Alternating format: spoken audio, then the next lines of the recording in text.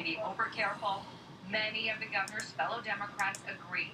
He seems more in line with the Assembly Minority Leader, Connie Conway. I've said that the governor is um, either the adult in the room or I've accused him of channeling his inner Republican. We don't even know how much surplus money the state might have.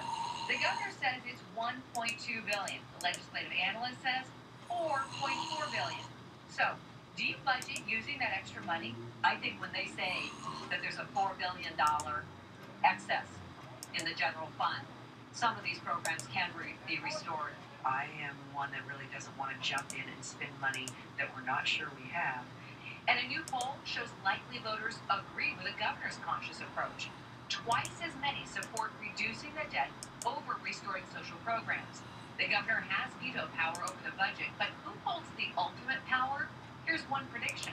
It's going to be spent. Uh, the decision is simply on what. Maybe there's a Ouija board somewhere in the Capitol with the answer. In Sacramento, Ann Notarangelo, KPIX 5.